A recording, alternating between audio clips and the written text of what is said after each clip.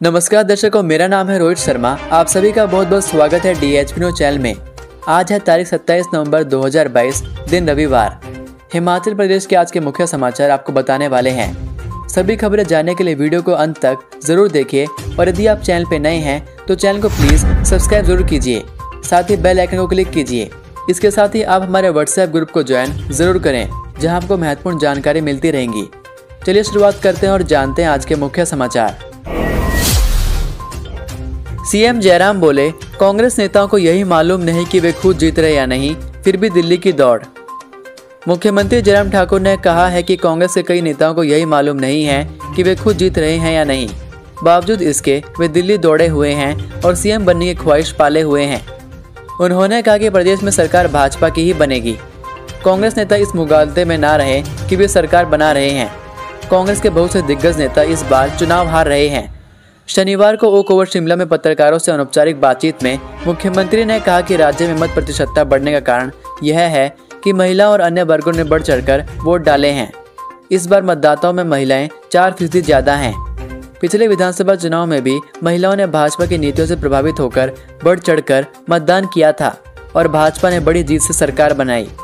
इस बार भाजपा ने महिलाओं के लिए अलग से संकल्प पत्र निकाला है। ऐसे में महिलाओं ने भाजपा सरकार के पक्ष में मतदान किया है। हिमाचल में छह दिनों तक मौसम साफ़, शिमला से ठंडी चंडीगढ़ और ऊना की रातें। हिमाचल प्रदेश में छह दिनों तक मौसम साफ़ रहने के आसार हैं। मौसम विज्ञान केंद्र शिमला के अनुसार, प्रदेश में 27 नवंबर से 2 दिसंबर तक मौसम शुष्क रहने की संभावना है। वहीं रात के समय शिमला से ज़्यादा ठंड, चंडीगढ़ व ऊना में पड़ रही है।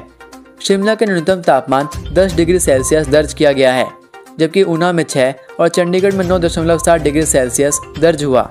इसके अलावा सुंदरनगर में दो दशमलव सात, भुंतर में दो दशमलव चार, कल्पा में तीन, धर्मशाला में नौ दशमलव दो नाहर में बारह दशमलव एक समेत इन सभी शहरों के तापमान आप देख सकते हैं। शिमला में गर्जे किसान बोले, केंद्र सरकार ने दिया धोखा, अब दोगुनी ताकत से होगा आंदोलन। केंद्र सरकार ने किसानों के साथ वादा खिलाफी की है। सरकार ने झूठ बोलकर किसानों का आंदोलन खत्म करवाया, लेकिन अब एकजुट होकर दोगुनी ताकत के साथ फिर से आंदोलन होगा। संयुक्त किसान मोर्चा के बैनर तले शनिवार को किसानों के राजभवन मार्च को संबोधित करते हुए हिमाचल किसान सभा के राज्य अध्यक्ष डॉक्टर कुलदीप सिंह तंवर ने यह बात कही। इस दौरान राज्यपाल के माध्यम से राष्ट्रपति को आठ सूत्री मांग पत्र भी भेजा गया। उन्होंने कहा कि आंदोलन समाप्त करते हुए सरकार ने किसानों से जो वायदे किए थे, अब केंद्र सरकार उन पर कोई कदम नहीं उठा रही है। विधायक राकेश सिंघा ने कृषि संकट के लिए सरकार की गलत नीतियों को जिम्मेदार ठहराया। उन्होंने किसानों से आह्वान किया कि वह इन नीतियों के खिलाफ एकजुट होकर लड़ें। अग्निवीर भर्ती पर गिरमाई युवा संसद, पक्ष और विपक्ष में जमकर नोकझोंक हिमाचल प्रदेश स्तरीय युद्ध संसद में अग्निवीरों की भर्ती योजना पर पक्ष और विपक्ष में तीखी नोकझोंक हुई। विपक्ष ने कहा कि अग्निवीर योजना शुरू होना युवाओं के साथ खिलवाड़ है, जबकि पक्ष ने तर्क दिया कि इसमें युवाओं को चार साल बाद भी रोज़गार सरकार उपलब्ध करवाएगी। अंत में संसद में इस पर सहमति का प्रस्ताव पास हो गया। वहीं गुजरात में हुए पुल हादसे की भी विपक्ष ने उच्च स्तरीय जाँच करवाने की मांग स्पीकर के समक्ष रखी। इसके अलावा महँगाई, शिक्षा, स्वास्थ्य, स्वच्छता समेत कृषि कानून विधेयक पर भी संसद गरमाया। यूथ संसद में प्रदेश भर से जिला स्तर पर चयनित बारह टीमों ने भाग लिया। इसका आयोजन भाषा एवं संस्कृति विभाग के कोठो ऑडिटोरियम में हुआ। इस दौरान देर शाम नौ बजे तक प्रतिभागियों ने प्रतियोगिता में भाग लिया। जिसका शुभारंभ डिग्री कॉलेज प्राचार्य रीटा शर्मा ने किया जबकि शिक्षा उपनिदेशक उच्च शिक्षा डॉक्टर जगदीश नेगी विशेष रूप से मौजूद रहे। फ्रेंडशिप पीक से लौटी टीम नहीं मिला शिमला का लापता पर्वतारोही। समुद्र तल से 17,490 फीट की ऊंचाई पर स्थित फ्रेंडशिप पीक में लापता शिमला के पर्वतारोही की तलाश के लिए छेड़े गए सर्च ऑपरेशन में कामयाबी नहीं मिल पाई है। आठ दिन बाद भी पर्वतारोही का कोई सुराग नहीं लगा। सर्च ऑपरेशन में जुटी अटल बिहारी वाजपेयी पर्वतारोहण एवं खेल संस्थान और तिरंगा माउंटेन रेस्क्यू दल की टीम के आठ सदस्य मनाली लौट गए हैं। तीन सदस्य वहीं पर रुक गए हैं। ये तीन सदस्य किन्नौर से आ रही डोगरा स्काउट के जवानों की रेस्क्यू टीम के साथ सर्च ऑपरेशन में हिस्सा लेंगे। शनिवार शाम तक डोगरा स्काउट की टीम के मनाली पहुँचने की संभावना जताई जा रही है। गौरतलब है कि शनिवार को शिमला की चौपाल तहसील के अटशाला गाँव के आशुतोष फ्रेंडशिप पीक की चढ़ाई करते वक्त हिमस्खलन की चपेट में आने से लापता हो गए थे। आठ दिन से फ्रेंडशिप पीक में सर्च ऑपरेशन चलाया जा रहा है।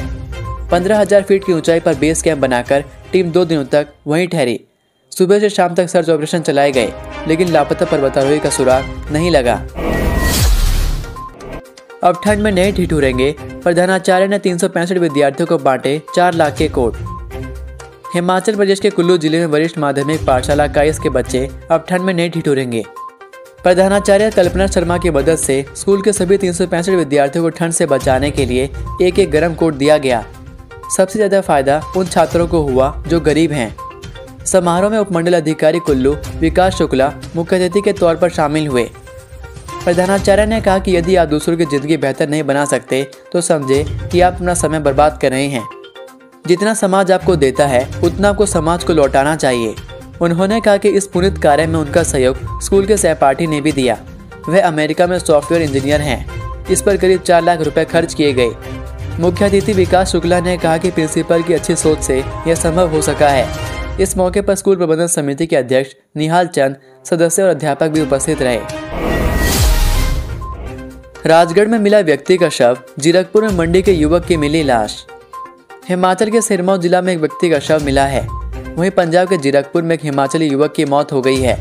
युवक की मौत का कारण ड्रग का ओवरडोज बताया जा रहा है। फ़िलहाल पुलिस ने मामला दर्ज कर दोनों शवों को कब्जे में लेकर आगामी जाँच शुरू कर दी है। पहला मामला सिरमौर जिला के राजगढ़ से सामने आया है। यहाँ उपमंडल राजगढ़ की घीलखड़ पबियाना में एक व्यक्ति का शव मिला। मृतक व्यक्ति की अभी तक पहचान नहीं हो पाई है। सूचना मिलते पुलिस मौके पर पहुँची और शव को कब्जे में लेकर आगामी जाँच शुरू कर दी है। मृतक की आयु 55 से 60 वर्ष के करीब लग रही है। वहीं लाश काफ़ी गल सड़ चुकी है। पुलिस ने मामला दर्ज कर जाँच शुरू कर दी है। वहीं पुलिस ने एफएसएल जुनगा की टीम को भी मौके पर बुलाया। वहीं दूसरा मामला जीरकपुर से सामने आया है। यह एक युवक के किराए के मकान में सीढ़ियों के नीचे शव मिला है। मृतक युवक की पहचान नवीन सिसोदिया, उम्र 30 साल, निवासी गाँव डिडोर, नेहरा, जिला मंडी के रूप में हुई है। बताया जा रहा है कि जीरकपुर में पटियाला रोड पर बने एक ढाबे के पास यह युवक एक शॉप के ऊपर दूसरी मंजिल पर किराए के मकान में रहता था। युवक का शव जीरकपुर में किराए के घर में सीढ़ियों पर मिला। मृतक के हाथ पर सिरिंज के काफ़ी निशान मिले हैं। वहीं वह शराब पीने का भी आदि था। मृतक का एक वर्ष का बच्चा भी है। पुलिस ने युवक का शव कब्जे में लेकर आगामी जाँच शुरू कर दी है। वर्दी पहनने का सपना होगा पूरा। पैंतालीस हज़ार दो सौ चौरासी पदों पर निकली भर्ती। आवेदन को चार दिन शेष। सरकारी नौकरी का सपना देख रहे युवाओं के लिए राहत भरी खबर है। देश भर में पैंतालीस पदों पर भर्ती होने जा रही है। यह भर्ती B S F C I S F C R P F I T B P S S F Assam Rifles और नारकोटिक्स कंट्रोल ब्यूरो में हो रही है। इन पैंतालीस हज़ार पदों पर भर्ती प्रक्रिया शुरू हो गई है। हालाँकि इसके लिए आवेदन प्रक्रिया पिछले माह से ही शुरू हो गई है, जो कि आगामी 30 नवंबर तक चलेगी। अभ्यर्थियों के पास आवेदन करने के लिए अब चार दिन का ही समय शेष बचा है।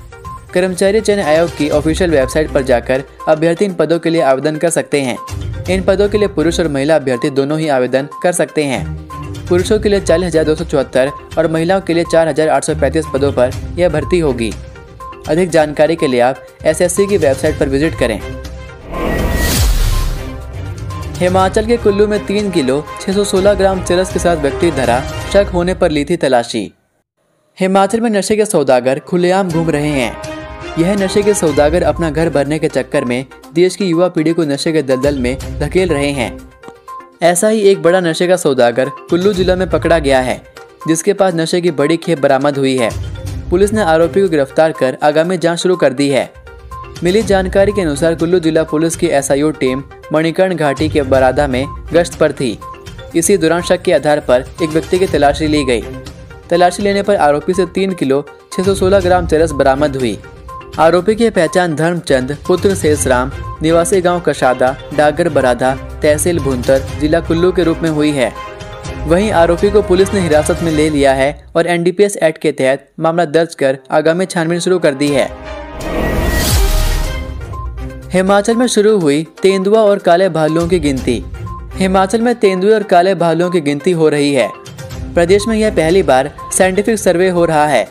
विभाग के पास इनकी संख्या के पुख्ता प्रमाण नहीं है। जूलॉजिकल सर्वे ऑफ़ इंडिया के सहयोग से पूरे हिमाचल में चिन्हित किए गए टैपिंग एरिया के सैंपल कलेक्शन का काम पिछले माह मुकम्मल हो चुका है। अब अगले साल मई जून तक यह रिपोर्ट फाइनल हो जाएगी। इस संबंध में हिमाचल में वर्ष 2003 से 2004 में जनरल सर्वे हुआ था, मगर यह कारगर साबित नहीं हो सका था। तेंदुआ कभी कभी नरभक्षी हो जाता है, इसके लिए आवाज़ भी उठती रही है। वाइल्ड लाइफ के एडिशनल पीसीसीएफ अनिल ठाकुर का कहना है कि प्रोसेस लंबा रहता है, लेकिन पहली मर्तबा इस तरह का सर्वे हो रहा है। साइंटिफिक सर्वे से वास्तविक स्थिति सामने आएगी। इसके लिए थोड़ा वक्त लगेगा। मई जून तक रिपोर्ट आने की उम्मीद है। इसके बाद इनसे संबंधित समस्याओं और स्ट्रैटेजी बनाने में विभाग को मदद मिलेगी। इसी के साथ, यदि आपको ये वीडियो पसंद आई हो तो वीडियो को लाइक ज़रूर करें। और चैनल पर नए हैं तो चैनल को प्लीज़ सब्सक्राइब ज़रूर कर लें।